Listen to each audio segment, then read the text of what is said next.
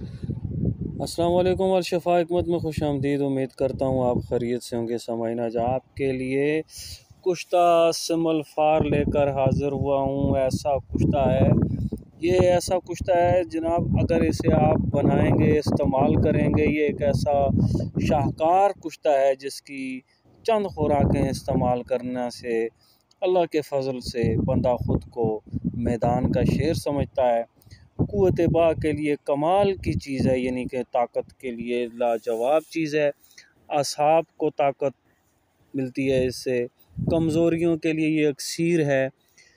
जिन हजरात को शिकायत रहती है कि उनका इंतशार नहीं है, ताकत नहीं है जिसम में तो उनके लिए बेहद ताकतवर चीज़ है। अगर आप इसे बना लेंगे और इसे इस्तेमाल करेंगे, ये इसकी खुराकें भी यही सात से आठ दस से ज़्यादा खुराकें नहीं होती तो इन अगर आप ये बनाएँगे तो इसे इस्तेमाल करेंगे तो आपको इसके रिज़ल्ट भी मिलेंगे।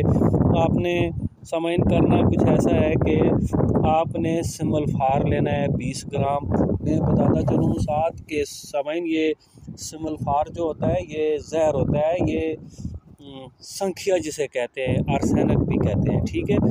ये आपने इसे कुश्ता करना है और ये आम आदमी के बस की बात नहीं है, अगर करना चाहें तो मैं आसान तरीका आपको बता रहा हूँ। तो अगर आप करना चाहें तो करें।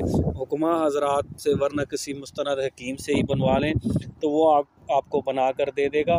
तो सिमल फार, आपने 20 ग्राम लेना है और दार चीनी जो है, वो आपने एक पाव लेनी है, यानी कि ढाई सौ ग्राम। ठीक है, एक पाव दार चीनी और बीस ग्राम सिमल फार लेना है। दार चीनी का आपने ऐसा करना है, सफूफ करना है। सफूफ करके इसके दरमियान में सिमल फार रख कर दारचीनी के जो सफूफ है, इसके दरमियान में सिमल फार रख कर ऊपर आपने मिट्टी का एक प्याला दे देना है। ऊपर से रख देना है और दबा देना है और ये सफूफ जो आपने रखना है, ये तवे पर रखना है।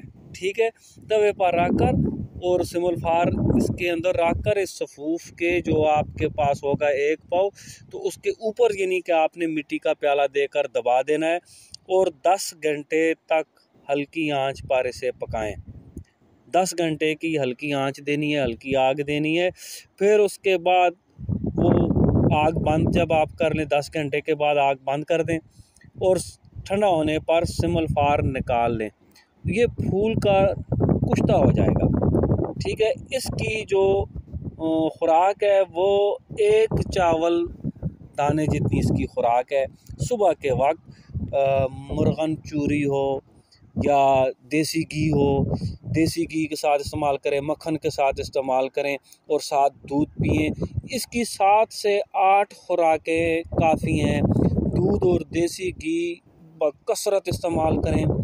ये अमराज बलगमिया असाबिया, घंटिया के लिए बहुत मुफीद है। वजल मुफासल जो कहते हैं ना, ये जोड़ों का दर्द, इसके लिए ये सदावी असरात जो है, उसको फ़ौर ख़त्म करता है।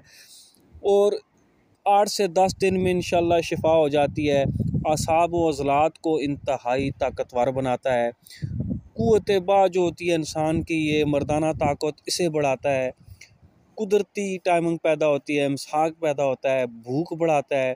और ये आपने मौसम ये सरमा जो है, सर्दी के मौसम में आपने बनाना है, सर्दी के मौसम में ये खाना है, गर्मी के मौसम में आपने इसे इस्तेमाल नहीं करना।